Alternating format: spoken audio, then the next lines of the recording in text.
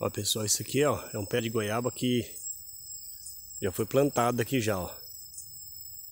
Ele tá num porte grande já, ó. Tá produzindo bastante goiaba para os passarinhos, ó. Estão comendo tudo, ó. Você vê aqui, ó. Ó, os passarinhos já estão comendo bastante. Tá produzindo bastante goiaba. Hoje, voltei aqui, ó.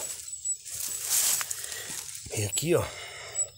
Tá meio escuro. Não sei se vai dar pra você ver aí, ó. Aqui eu plantei um pé de jaca, ó pé de jaca e um pé de manga.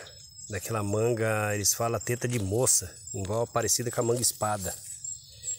E aí eu coloco esses dois pedaços de forro PVC aqui, ó.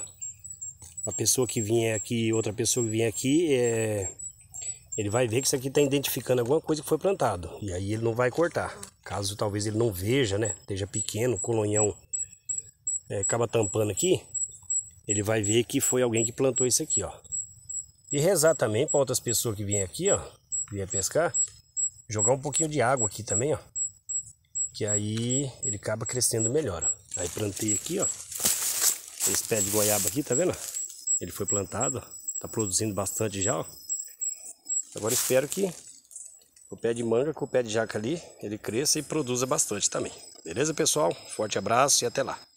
E pessoal, você que gosta também de beira de rio, lagoa, rio, Replante também. Plante algumas mudas na beira dos rios que para bicho, passarinho ou para o próprio ser humano que for pescar ali também, ele vai colher bastante fruta, fruta ali, ó. Beleza? Forte abraço, pessoal.